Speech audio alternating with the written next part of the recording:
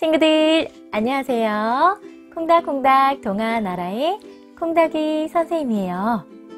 우리 친구들 한 주도 잘 보냈나요? 아, 네, 잘 보냈다고요. 자, 그럼 오늘 우리 친구들에게 알려줄 손노래의 제목은 즐거운 여름이라는 손노래예요. 자, 우리 친구들 여름에는 어, 떤 놀이를 많이 하나요? 네, 바닷가에 가서 이렇게 수영도 하고 또 강가에서 물고기도 잡고 이런 놀이들을 많이 하죠. 자, 그래서 이렇게 즐거운 여름에 우리 물고기를 한번 잡으러 가볼까요? 자, 이것을 노래로 같이 한번 불러볼 텐데요. 먼저 여름, 여름, 여름, 즐거운 여름. 네, 여름은 덥기 때문에 여름, 여름, 여름, 즐거운 여름. 시원한 냇가에서 자, 물이 흐르듯 시원한 냇가에서 고기를 잡는 낚시.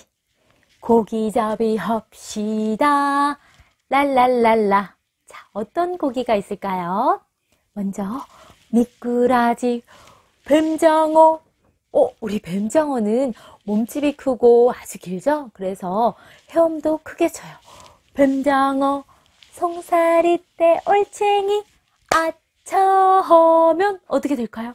달아납니다. 아차 하면 달아납니다. 네, 이렇게 부르는 노래예요. 자, 우리 제목이 즐거운 여름이니까 우리 무더위를 또 날려버리기 위해서 즐겁고 신나게 한번 불러볼게요. 자, 그럼 같이 한번 해볼게요. 자, 준비, 시작. 여름, 여름, 여름, 즐거운 여름, 시원한 냇가에서 고기잡이 합시다.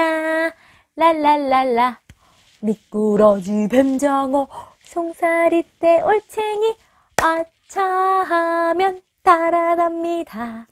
어쩌면 달아납니다. 네, 우리 친구들 잘 해, 보았나요?